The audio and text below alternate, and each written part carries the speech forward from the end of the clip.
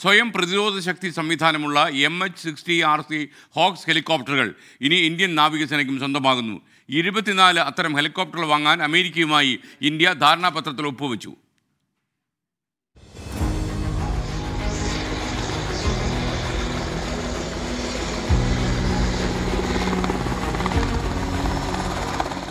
Indian നാവികസേനയുടെ വജ്രായുധം. ഇതുവരെ കണ്ട ഹെലികോപ്റ്ററുകൾ പോലെയല്ല M H sixty R Seahawks യുദ്ധ സാങ്കേതിക വിദ്യകളുടെ പര്യായം.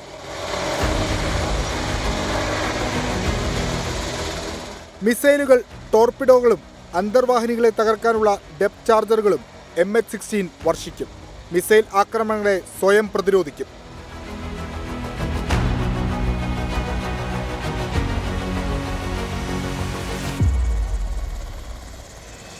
തീർന്നില്ല. റേഡിയോ ഫ്രീക്വൻസി ഉപയോഗിച്ച് ലക്ഷ്യം കാണുന്ന മിസൈലുകളെ ഷാഫ് സംവിധാനം ഉപയോഗിച്ച് വഴിതെറ്റിച്ചു വിടാനും എം എച്ച് സിക്സ്റ്റിക്കാവും ഓട്ടോ പൈലറ്റ് സംവിധാനം M H sixty R C ഹോക്സിന്റെ മറ്റൊരു പ്രത്യേകതയാണ്. ഈ എയർ ടെക്നിക്കൽ ഓഫീസറായിട്ട് വർക്ക് ചെയ്യാൻ വേണ്ടി എയർക്രാഫ്റ്റിന് സ്പെസിഫിക്കേഷൻ ആയിട്ട് ഞങ്ങൾ യു എസ് പോയി ട്രെയിൻഡ് ആണ്. അവിടുന്ന് വന്നതിന് ശേഷം ഈ എയർക്രാഫ്റ്റിന് ഇന്ത്യൻ നേവിയായിട്ട് ഇന്റഗ്രേറ്റ് ചെയ്യാൻ വേണ്ടിയുള്ള എല്ലാ റോൾ വർദ്ധിനസ് എല്ലാ എയർ വർദ്ധിനസിന് വേണ്ടിയുള്ള എല്ലാ സപ്പോർട്ടും ഗ്രൗണ്ടിൽ നിന്ന് ചെയ്തു കൊടുക്കുന്ന ഹെൽപ്പും സ്പെഷ്യാലിറ്റിയുമാണ് ഞങ്ങൾക്ക് കിട്ടിയിരിക്കുന്നത് ഫ്രം യു എസ് ഹെലികോപ്റ്ററിൽ രണ്ട് പൈലറ്റുമാരും നേവൽ എയർ ഓപ്പറേഷൻസ് ഓഫീസറുമാണ് ഉണ്ടാവുക നിലവിൽ രണ്ട് വനിതകൾ സീഹോക്സിന്റെ ഭാഗമാണ് You see the other helicopters that Indian Navy has, they are limited by the roles.